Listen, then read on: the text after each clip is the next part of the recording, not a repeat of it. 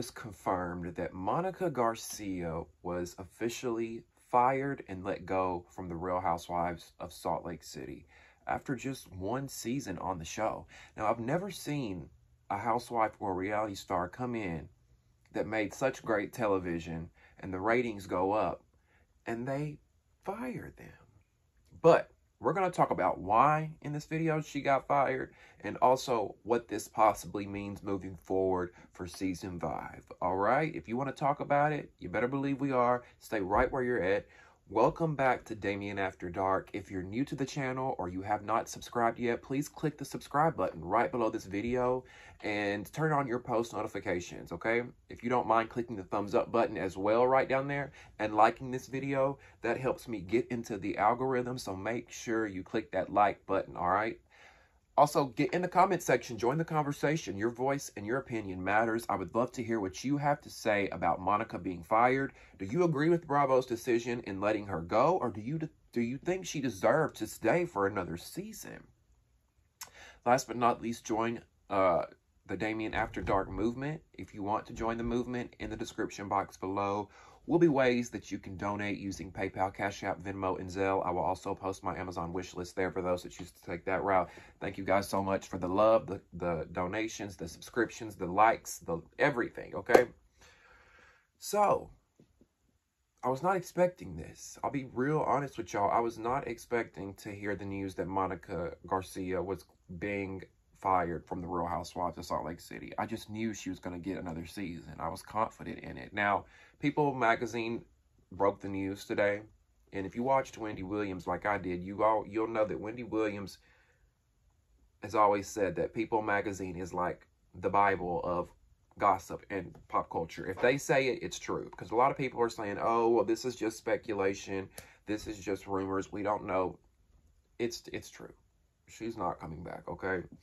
Um and I just I I hate this for the show. I really do. There's just so many um, mixed emotions and things that I want to say when it comes to this particular topic. So let's start with the fact of why Monica was let go, right? You got a lot of people who don't like Monica. You got a lot of people who did like Monica.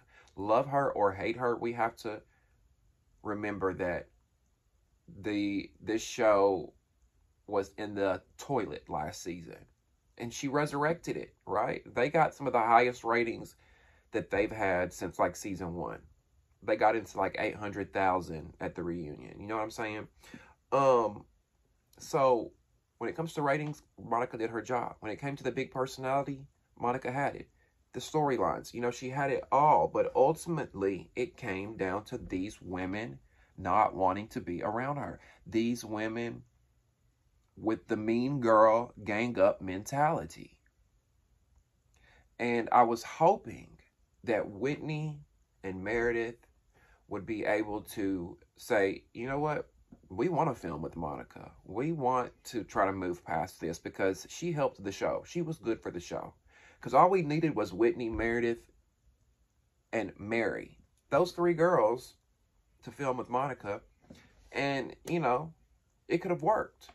But ultimately, because Lisa Barlow and Angie Katsanevas and Heather Gay and the rest of the girls are bandwagoning on with Heather and, and pretty much riding with Heather, because of this Instagram troll account, this reality Von Tease account that we've yet to see any evidence that targeted the other women.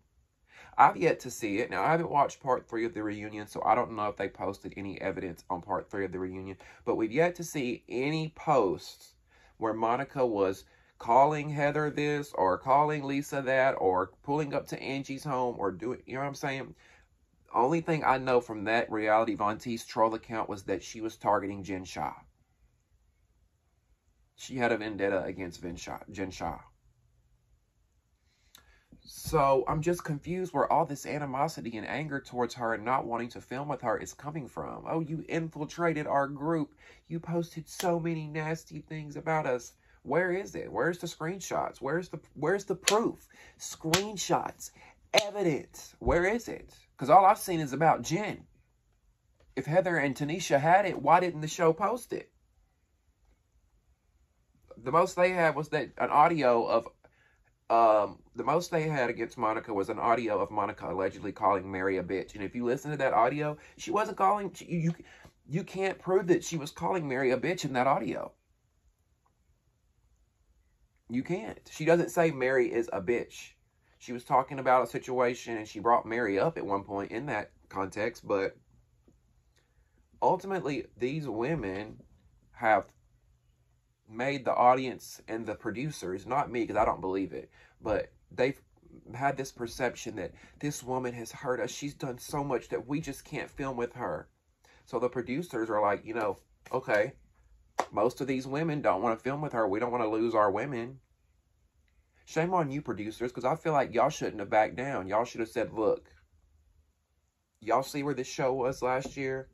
We were on the, when Jen Shah was getting ready to go to prison, we were, we didn't know what we were going to do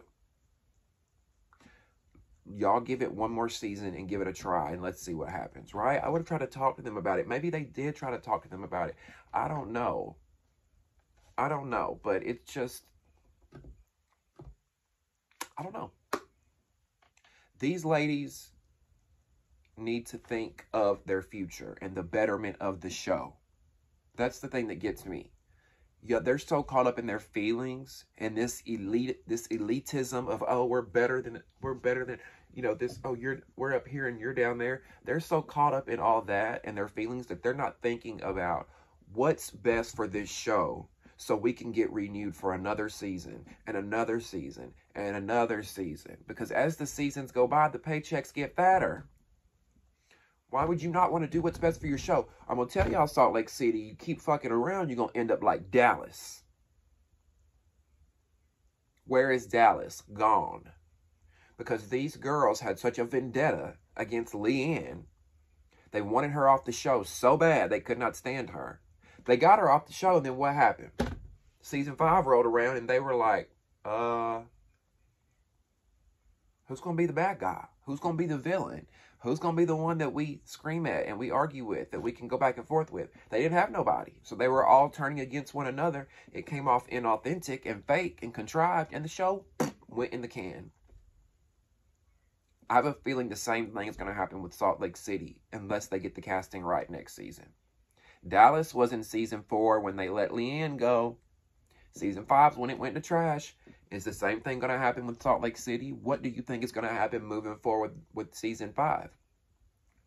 So here's the thing unless they can find another personality that was as big as Monica's and Jen Shah's, they need another Monica or another Jen Shah. And when I say another Jen Shah, I don't mean on the aspect of defrauding elderly people or committing crimes, okay?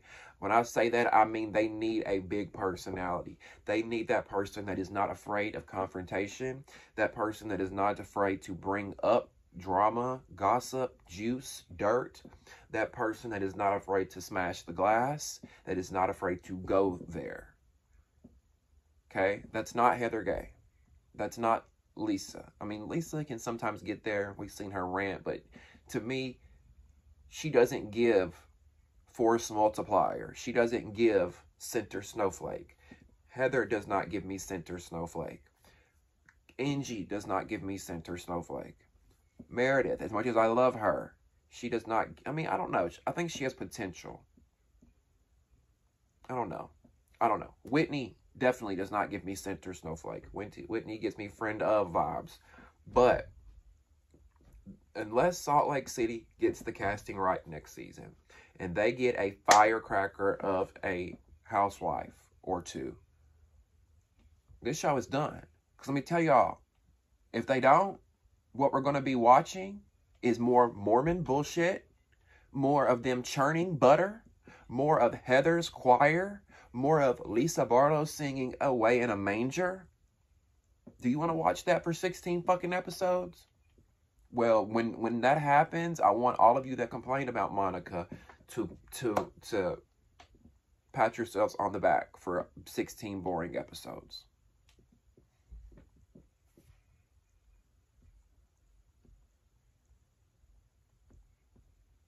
Let's just face it.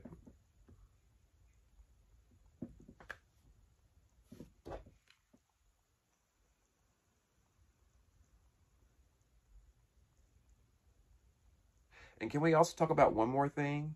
Is the hypocrisy of it all.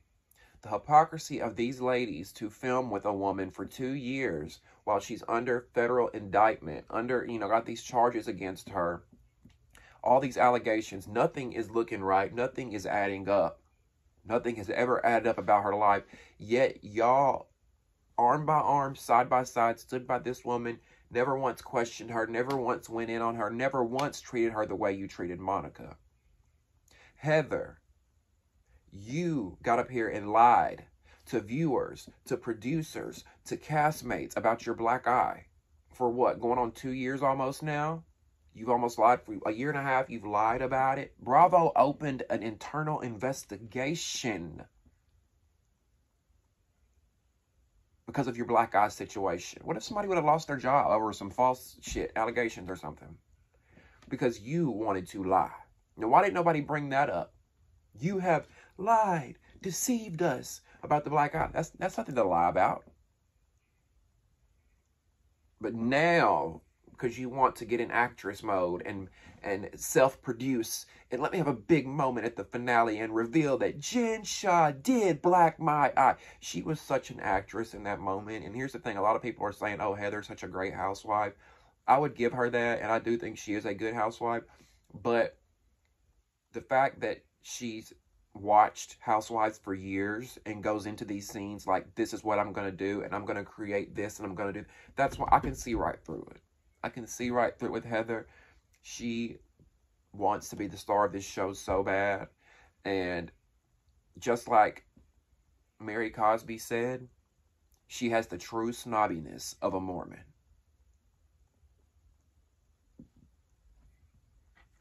Heather and this it gives me Karen. It gives me snob. It gives me, I'm still that Mormon. I still have that Mormon spirit and that Mormon attitude that I'm better than you. And that because you don't believe in the Mormon church and you're not this and you're not that, I'm this and I, it gives me all of that. This show has gone to her head. People loved Heather in season one. People loved her. They fell in love with her personality.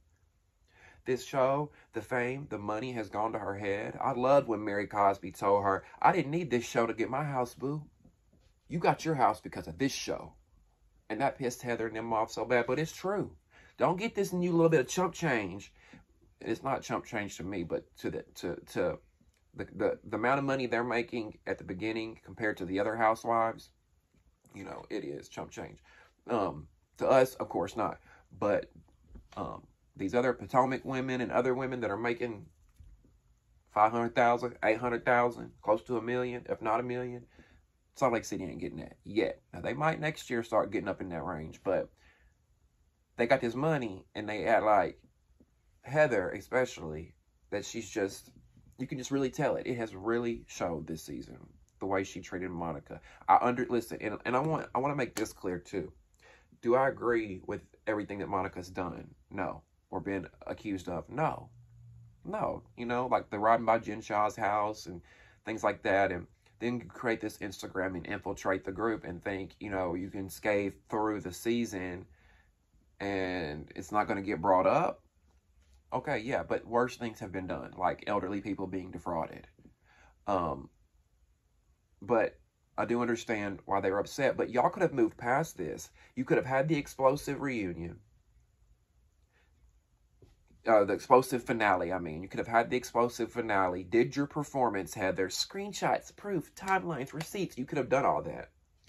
Come reunion time, y'all could have duped it out, and then you could have came to the conclusion and apologized and moved on.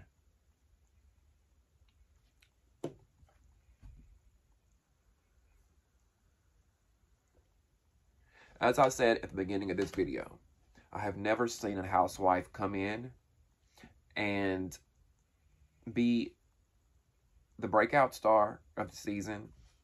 The ratings go up and they fire her. But this is that new age housewives mentality where these these women come together behind the scenes and say, we need to say no. We need to go up against this girl and say we don't want to film with her. We don't nothing to do with her. She's done this, she's done that. And, you know, it's us against one.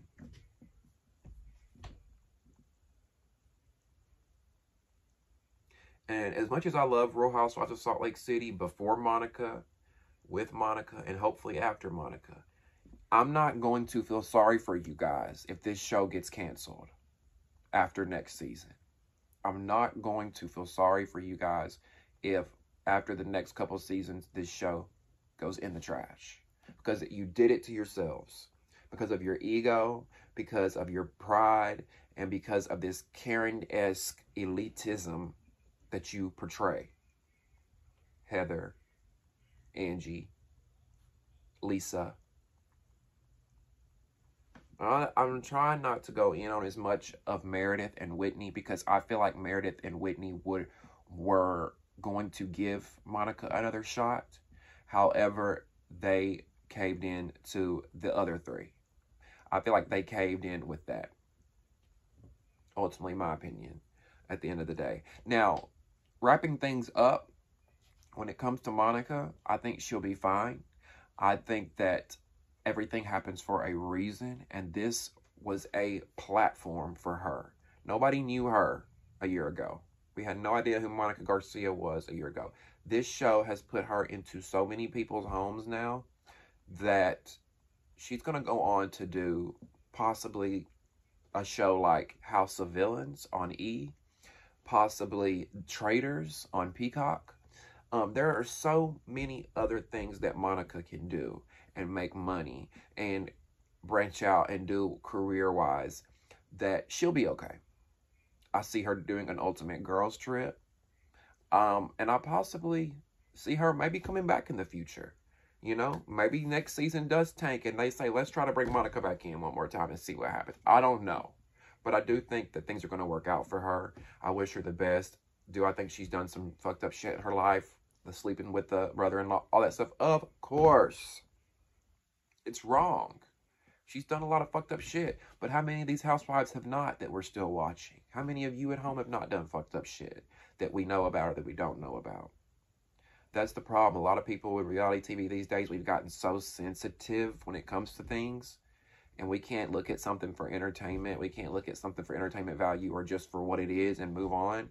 That people get so upset that it's just like we have to get rid of it altogether. Okay, no more. I digress, but I would love to hear what you have to say. What did you think about Monica being fired from the reunion or from the Housewives of Salt Lake City? Do, are you happy? Are you sad? Do you think Bravo made the right decision? What do you think is going to happen moving forward into season five? What would you like to see happen? Who would you like to see for season five? Who is your dream cast? Leave me your thoughts and opinions in the comment section below. Make sure you like this video by clicking the thumbs up button, subscribe to the channel, and if you would like to donate to the Damieon After Dark movement, in the description box below will be ways that you can donate. I'll also post my Amazon wish list down there as well. Thank you guys so much for tuning in to another episode of Damieon After Dark. We'll see you next time. See ya.